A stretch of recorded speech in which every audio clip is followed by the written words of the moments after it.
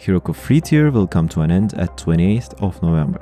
So we need to make a decision about our Postgres databases running on Heroku. At this point, we have few options like moving to a paid tier on Heroku, moving out to AWS, or using a service provider like Railway. Now, depending on your situation, your choice may vary. There are many factors which will affect your decision, such as pricing, scalability, configuration options, future-proofing, support, and many more things. In this video, I will be using Railway. In my opinion, Railway is a service that has a sweet spot of all of these options, hence the choice. But enough said, hit the like button and now let's get started with the migration process. So first things first, before you start, you need to make sure that you have a Postgres command line tools installed on your machine. To verify that, we can open up our terminal and type psql dash dash version. We can also verify the pgdump and pg pgrestore the same way, just like that. Those are the helper tools that we will be using to backup and restore our database for migration. In this step, if you see an output like command not found, then you need to make sure that you have set up your path variables correctly. You can do so by adding the bin folder under the PostgreSQL installation directory to your environment path. Since I'm on Windows, if I go to the environment variables and paths, as you can see, I've added it like so.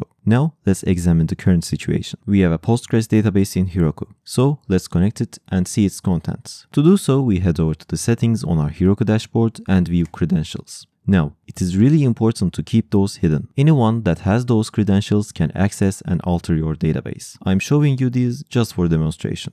Anyway, to connect our database, we head back to our terminal and type psql. Then we add dash h followed by the hostname, which is this URL. After that, we add the port by dash p and the port, which is 5432.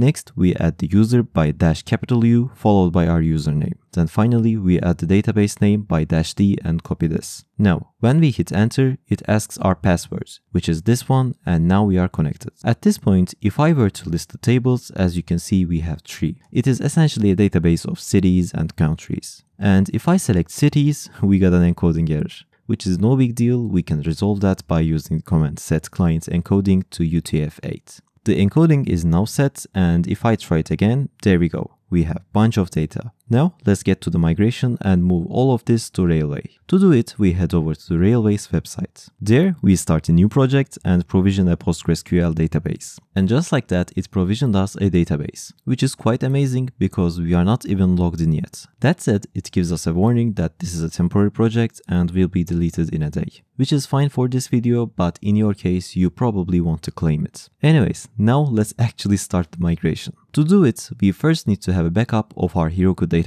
But before doing that, it is very important that you put your application in some sort of maintenance mode. Because if you have a write intensive application and you won't pause the reads, the migration can cause data loss. So keep that in mind. Now let's keep on going. To take a backup, I've opened up a command prompt window. If you are on Windows, this is a crucial step because if you use PowerShell instead, the migration process will not work. So once we go to the command prompt, let's quickly head over to the desktop so that we can find our backup file easier. To take a backup, we use the pgdump command. Then we follow that by passing the H flag and our host URL on Heroku. Next, we pass the D flag and our database name. And after that, we add the capital U flag for the username. Then we add the P followed by the port. This structure is essentially the same as how we connected to our Heroku database. However, this time we are using the pgdump command instead of psql. Also, we will add the capital W flag followed by capital F and lowercase t. The capital W will force us to enter our password and ft command command will set our backup file as tar,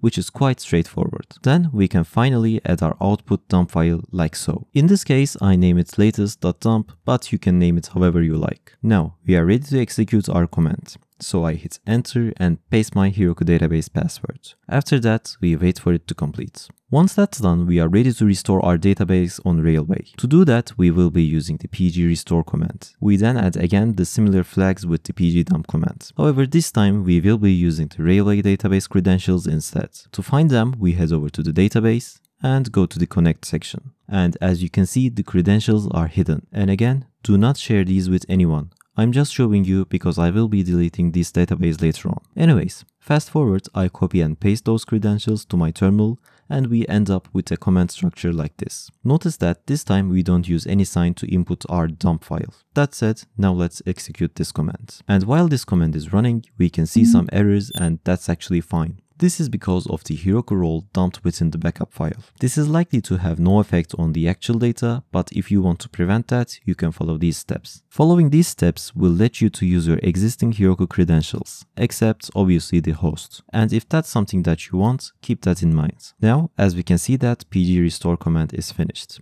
Now, when we head over to the Railway, we can see our data, which shows us that the database is successfully migrated. Essentially, that is how the migration process can be done at its core. However, depending on your configurations and preferences, the steps can change. Therefore, I'll leave some resources in the description so you can take a look at there as well. In any case, I hope you find this video somewhat useful. If so, make sure to hit the like button and subscribe. And until next time, take care.